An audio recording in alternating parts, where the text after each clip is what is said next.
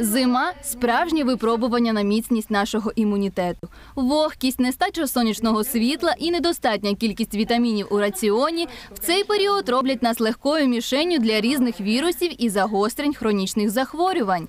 Посилити імунітет можна за допомогою натуральних природних засобів. У кожної господині, як і матусі, є свої рецепти, як уберегти своїх дітей від хвороб.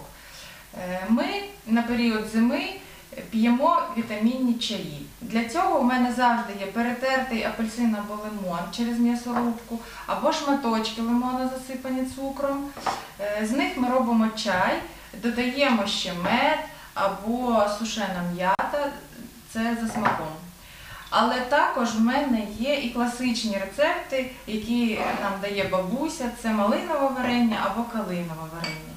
За словами господині, щоденний прийом меду, який містить незліченну кількість вітамінів та заліза, а також малини та інших натуральних смаколиків, посилює здатність лейкоцитів боротися з різними застудами.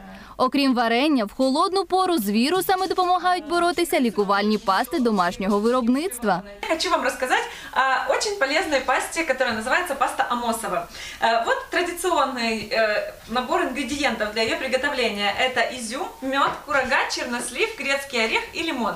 Я же этот рецепт усовершенствовала, сделала, сделала его более современным.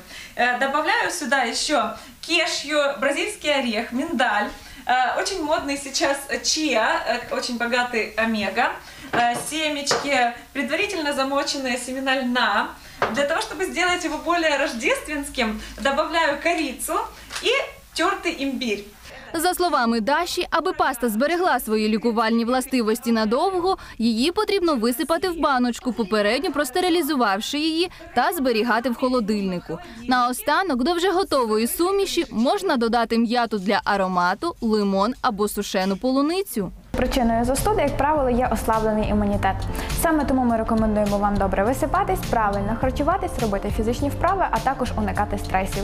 Як бачимо, рецептів вітамінної суміші, аби зробити імунну систему непереможною, безліч у кожної господині. Їх можна використовувати як дітям, так і дорослим, не лише в період застуди, а й в цілях профілактики незалежно від пори року.